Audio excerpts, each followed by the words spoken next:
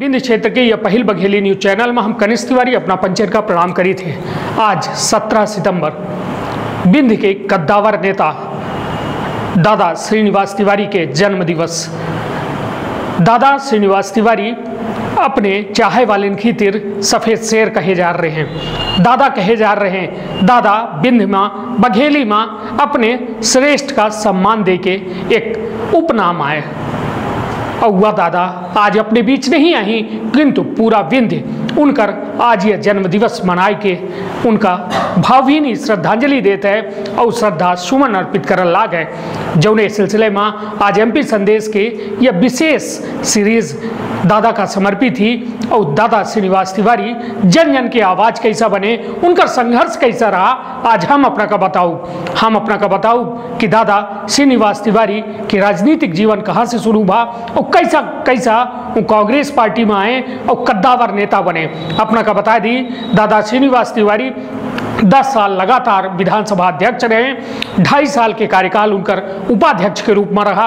अपना का बता दी, दादा के यह कहानी की शुरुआत कैसा है? दादा, मनगामा से पहल विधानसभा चुनाव लड़े। किंतु एक के पीछे एक बड़ी कहानी है। दादा 1948 में समाजवादी पार्टी बिंद प्रदेश के निर्मित करीन। जौने माँ, उन्नीस में पहल मनगावा विधानसभा चुनाव, विधानसभा से चुनाव लड़ीन। किंतु वो के पीछे एक कऊ कहानी है। उनके मित्र के जो बहुत मीठी कहानी है।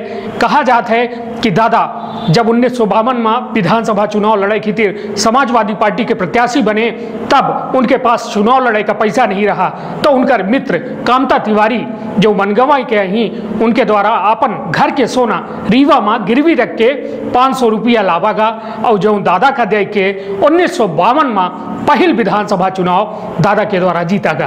फिर कहा रहा, वह समाजवाद के नेता, प्रखर वक्ता, राजनीतिक कुशल व्यक्ति, वह बनेगा जन जन के नेता। फेंका रहा या सिलसिला जारी होएगा अपना का बता दी कि दादा उन्नीस सौ बहत्तर में जब विधानसभा से विधायक निर्वाचित भे तो उन्नीस में इंदिरा गांधी के द्वारा यह कहा गया कि कांग्रेस में आएगी, फेंका रहा। दादा श्रीनिवास तिवारी कांग्रेस में आइए और फिर लगातार कांग्रेस के साथ उनकर बना रहा। फिर अपना का बता दी कि दादा 1980 में जब विधायक चुन के आए, ता उनका पहल बे अर्जुन सिंह स्वर्गीय अर्जुन सिंह के मंत्री, मुख्यमंत्री काल में उनका पहल बे लोक स्वास्थ्य एवं परिवार कल्याण मंत्रालय के मंत्री बना बागा।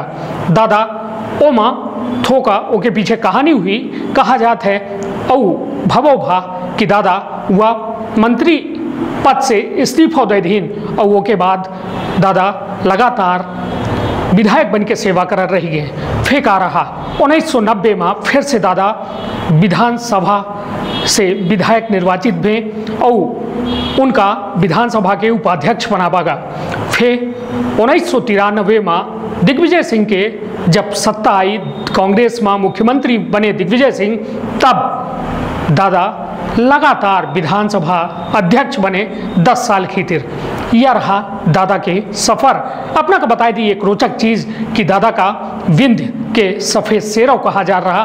कहे कि सफ़ेद शेर बिंद के पैदाइश रही। अपना का बताई दी, राजा मार्तंड सिंह मोहन नामक सफ़ेद शेर का कुसमी के जंगलन से पकड़े रहे। और सीधे यदि विश्व में कहों अपना सफ़ेद शेर देखी थे तो वह बिंद के शेर आए। अपने सीधी रीवा से जुड़ा होकर पूरा इतिहास है। और दादा का चाहे वाले उनके निर्भीक और राजनेता स्पष्ट वक्ता के चलते उनका सफ़ेद शेरों को हर रहे और साथ में उनका दादा नाम से उनकर एक अलग से उपमा दे रहे और उनका अपन हर घर के शख्स मान रहे। दादा के स्वभाव में लोग बतावत हैं कि ऐसा रहा कि उनका स्वभाव हर अपने क्षेत्र के लोगन का यह भर नहीं कि वो विधानसभा क्षेत्र तक सीमित रहे, वो पूरा मध्य प्रदेश का अपन घर माना रहे, परिवार माना रहे, लोगन के मदद कर रहे, उनके सुख दुख में सम्मिलित हो रहे यहीं से दादा सर्वमान्य रहे, सर्वकल्पनीय रहे। काहे कि आज यदि दादा के स्वीकारोक्ति है तो दादा के या कार्यकुशलता के चलते हैं।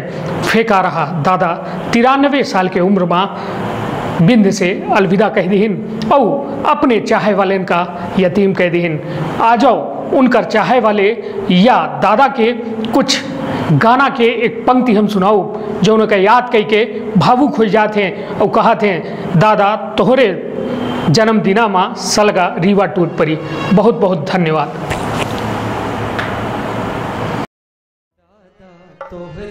जन्म दिना माँ सगलारी माँ टूटी पड़ी। दादा तोहरे जन्म दिना माँ सगलारी माँ टूटी पड़ी।